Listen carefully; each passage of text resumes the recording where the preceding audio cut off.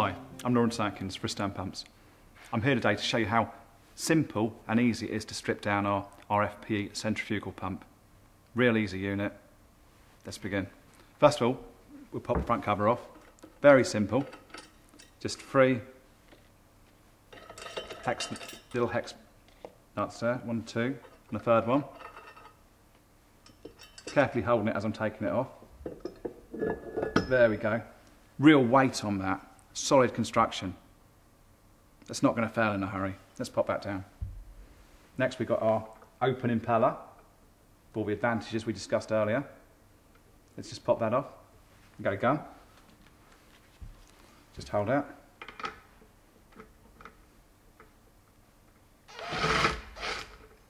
There we go. Impeller nut off. Gun down. Position made. Comes up nice and easy. Open impeller. Very simple. As you can see here, there's a small, uh, there's a small nylock that we put it over the nut to make sure that that cannot come undone. But in normal running, it's constantly doing up anyway, so simple. You've got a key on the shaft here. We just pop that key off. Bear with me, I'm just doing everything back to front at the moment. We go. Key off. And we got a, first of all we have a, a tappet here. It's like a bush which the impeller pushes against. We can see it's got an O-ring on there, so that seals it against the, the impeller. So that's pushing against this, which in turn is pushing against a spring. It's positively driven there. You can see it's got a little cutout there which the spring inserts into.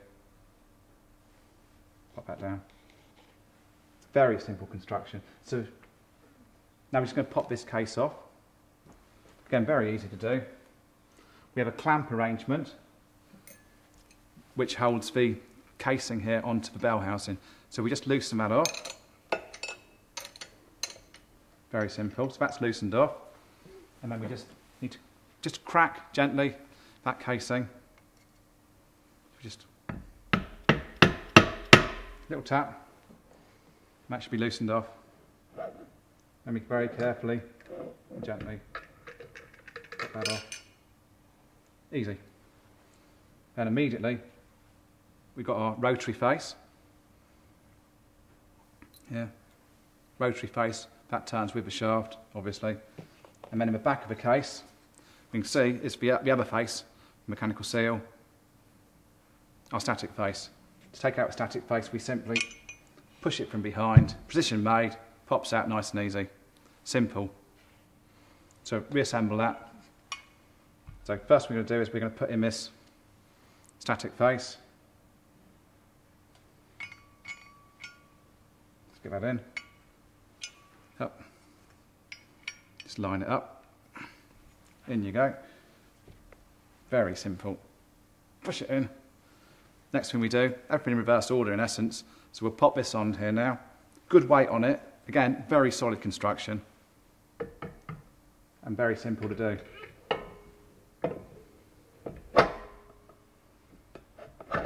You can see how long this took me to do. I mean, it, it's literally showing you as well, a couple of minutes tops, isn't it? Very, very basic. I mean, the pumps run and run, but if you do need to take them apart, that's how easy it is. Very easy. Let's just pop that clamp out there. So that's now gripping the, the case. Next thing we need is the, the rotary seal, which we said about.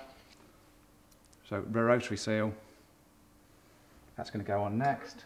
If you're doing this with a, a new unit with a new seal, I'd recommend you put a nominal amount of grease on the O-rings obviously to ease them going on the shaft. And we've got our spring to go on. That's the spring on. And then we've got our tappet, which we were saying the impeller pushes against. So we just need to locate that in the correct place there. That's it. And then we need to put our key in. Just put that in there. That's it, key in. Simple. And then finally, what have we got?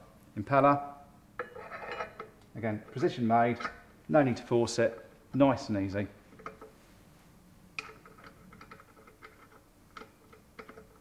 Standard right hand threaded, very simple.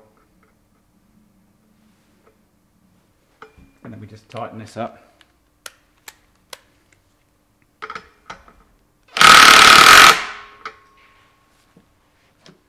Impeller nut on.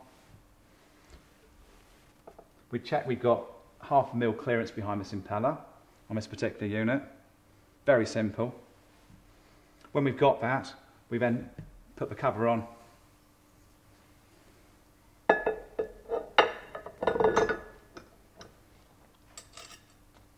And then one,